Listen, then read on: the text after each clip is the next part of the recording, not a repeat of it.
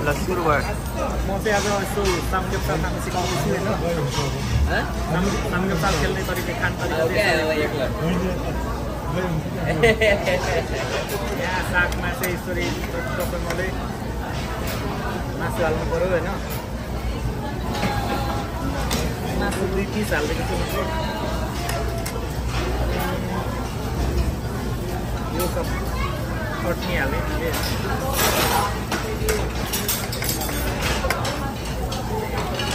यो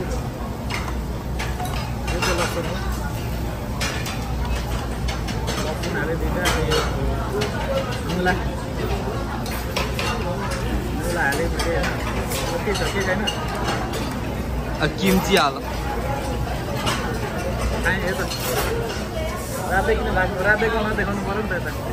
फेमस भइहाल्छ कि म